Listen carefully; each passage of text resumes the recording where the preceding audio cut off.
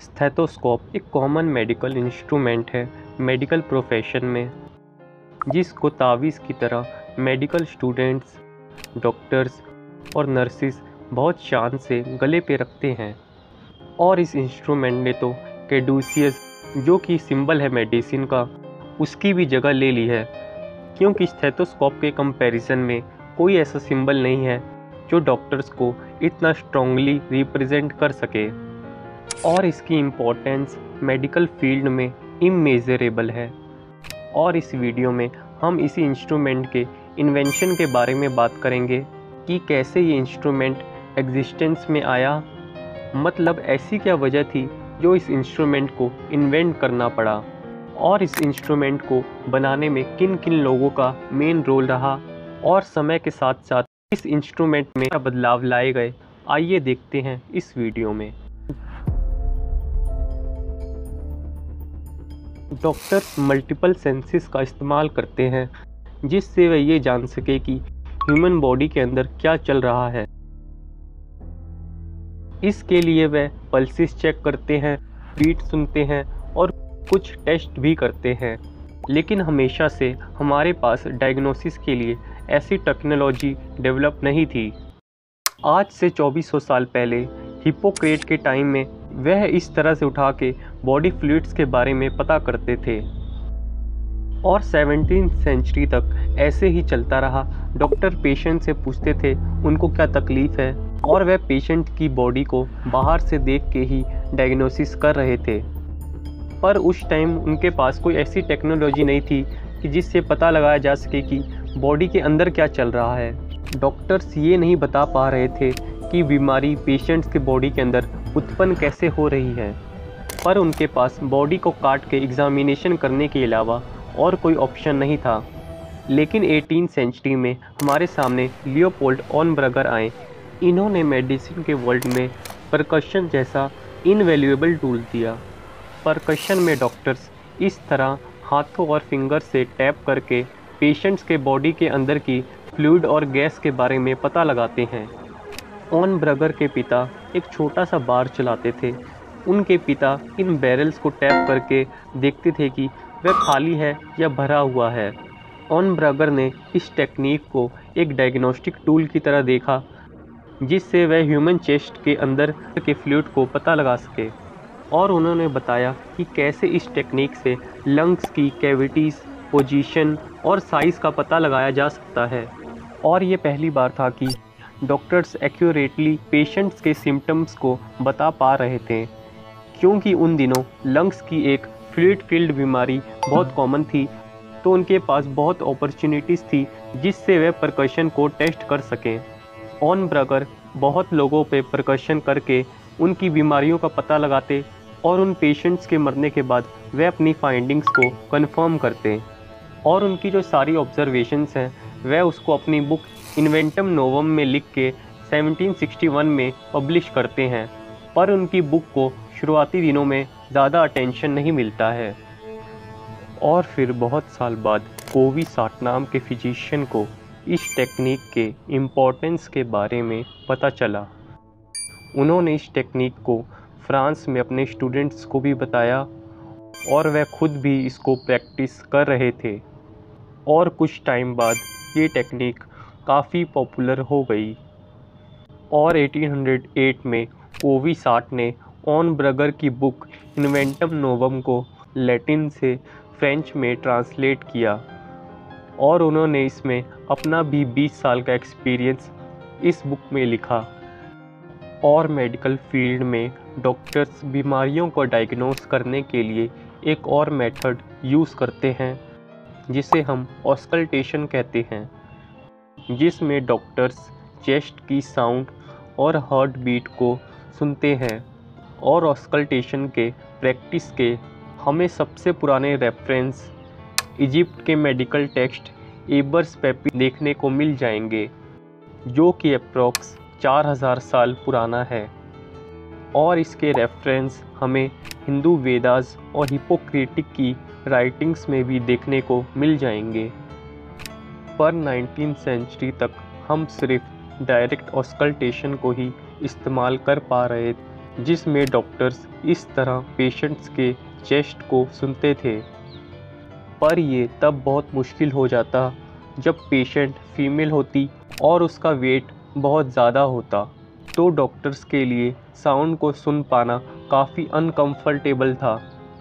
और इससे डॉक्टर्स को हाइजीन के प्रॉब्लम को भी फेस करना पड़ रहा था। लेकिन 1816 में एक बड़ा चेंज आया। डॉक्टर लेनेक के सामने एक young women heart disease symptoms के साथ आती है। पर लेनेक को उस लेडी के ज़्यादा वेट और ज़्यादा ब्रीच साइज़ होने की वजह से डायग्नोसिस करने में काफ़ी प्रॉब्लम्स आ रही थी। इसलिए वह इस प्रॉब्लम से बाहर निकलने के लिए पेपर को रोल करते हैं और लेडी के चेस्ट को सुनने लगते हैं। और वह बहुत शौक होते हैं कि वह इस रोल्ड पेपर से ज़्यादा क्लियर सुन पा रहे थे, जैसा उन्होंने कभी डायरेक्ट ऑस्कल्टेशन से भी नहीं सुना था। लेनेक इसके बाद तीन साल तक इस थेटोस्कोप पे काम करते हैं, जिसमें वह इसके डिज़ाइन को परफेक्ट बनाने के लिए डिफरेंट टाइप्स की लकड़ियों का इस्तेमाल करते हैं। और ये लेनेक का पहला स्थेटोस्कोप था, और इसके तीन डिटैचेबल पार्ट्स थे।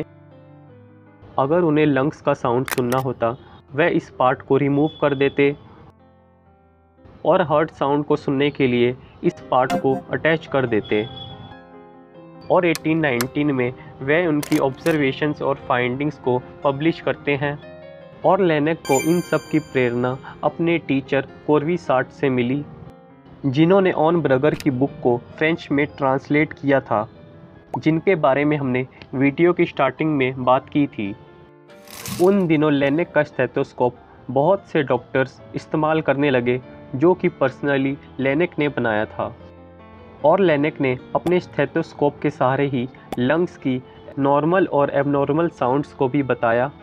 लेनेक ने इन एबनॉर्मल साउंड्स को पहचान के होने वाली बीमारियों के बारे में भी बताया, जिसमें ये बीमारियाँ शामिल है।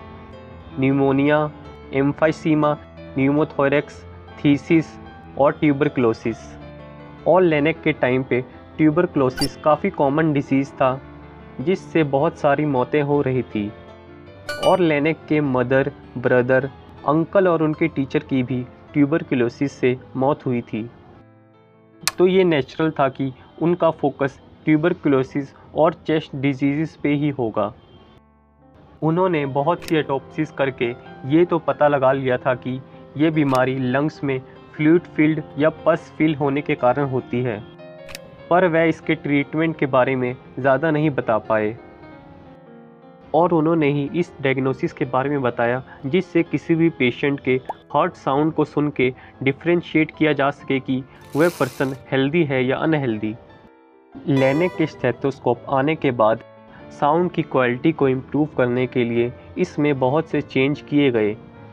1829 में निकोलस कॉमिन्स पहला फ्लेक्सिबल स्टेथोस्कोप इन्वेंट करते हैं। और फिर इसके बाद 1840 में डॉक्टर सी जे ये स्टेथोस्कोप इन्वेंट करते हैं। और 1851 में doctor Nathan Marsh binaural stethoscope बनाते हैं, जिसकी मदद से डॉक्टर्स दोनों कान से साउंड सुन सकते थे। और 1852 में कॉमन इस स्टेथोस्कोप में कुछ मॉडिफिकेशन करते हैं। जिसके बाद ये कुछ ऐसा दिखता है। और 1885 में चार्ल्स डेनिसन स्टेथोस्कोप का एक बहुत ही नया मॉडल लेके आते हैं, जिसमें इस तरह से मल्टीपल बेल्ट्स लगी थी। अगर उन्हें एडल्ट्स के लिए यूज़ करना होता तो वह इस बेल्ट्स को अटैच कर देते, और अगर उन्हें इन्फेंट्स को सुनना होता तो वह इस बेल्ट्स को रिमूव कर देते। और फिर 1931 में मेयर और फेल्प्स ये स्टेथोस्कोप इन्वेंट करते हैं, जिसकी लंबी सी ट्यूब थी। और फिर 1960 में डेविड लिटमैन स्टेथोस्कोप बनाते हैं, जो कि पिछले डिज़ाइन से काफ़ी लाइट वेट था। और इसका जो डिज़ाइन है, इससे थोड़ा मिलता जुलता डिज़ाइन का ही स्टेथोस्कोप हम अभी भी यूज़ कर रहे हैं। और 1999 में रिचार्ड एक नॉइस रिड्यूसिंग स्टेथोस्कोप बनाते हैं। और उसके बाद 2015 में 3D प्रिंटेड स्टेथोस्कोप आता है। इसकी cost non 3D printed stethoscope से भी कम थी। और 2018 में पहला आर्टिफिशियल इनेबल्ड स्टेथोस्कोप आता है, जो कि पूरी तरह से वायरलेस होता है और इसके थ्रू साउंड्स को रिकॉर्ड भी कर सकते थे। लेकिन इन सब की शुरुआत एक रोल्ड पेपर से हुई थी।